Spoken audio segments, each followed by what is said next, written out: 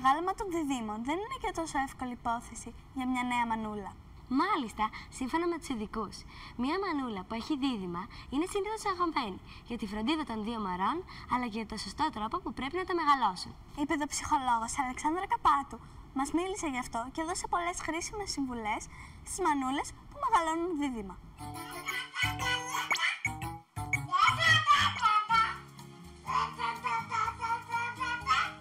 Ο ερχομό δύο παιδιών ταυτόχρονα των διδήμων, εκτός του ότι προσφέρει τεράστια ικανοποίηση και ευχαρίστηση στους γονείς, τους προσφέρει και πολύ μεγάλη ανησυχία.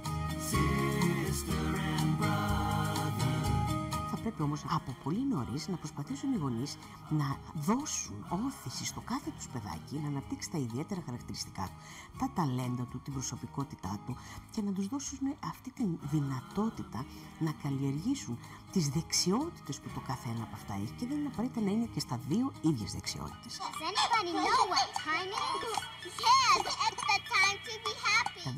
Δίδυμα, επειδή μεγαλώνουν μαζί, από τη στιγμή της σύλληψής τους, δεν είναι εύκολο να αποκολληθούν και να ξεχωρίσουν. Τα προβλήματα γίνονται δυσκολότερα όταν τα παιδιά μπαίνουν στην εφηβεία, που πια έχουν ανάγκη να δομήσουν το καθένα τη δική τους ταυτότητα.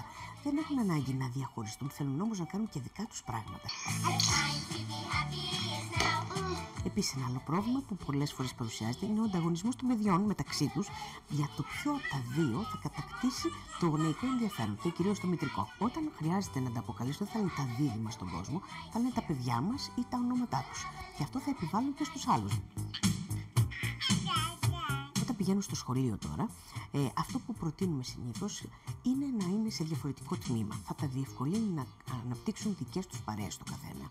Και αυτό θα βοηθήσει εξαιρετικά και στην ανάπτυξή τους και να έχουν άλλο σημείο αναφοράς. Στο διάβασμα δεν είναι απαραίτητο να διαβάζουν τα ίδια πράγματα την ίδια ώρα. Διότι αναπτύσσεται ένας ιδιαίτερος ανταγωνισμός που δεν τα βοηθάει. Δεν βοηθάει αυτή τη σχέση. Προτείνουμε να είναι διαφορετικές δραστηριότητες που κάνει το κάθε παιδί, σαν να είχαμε δύο διαφορετικά παιδιά όπως είναι, αλλά διαφορετικών ηλικιών που θα έπρεπε άλλη στιγμή να ασχολούμαστε με το καθένα. Το ίδιο θα κάνουμε και εδώ.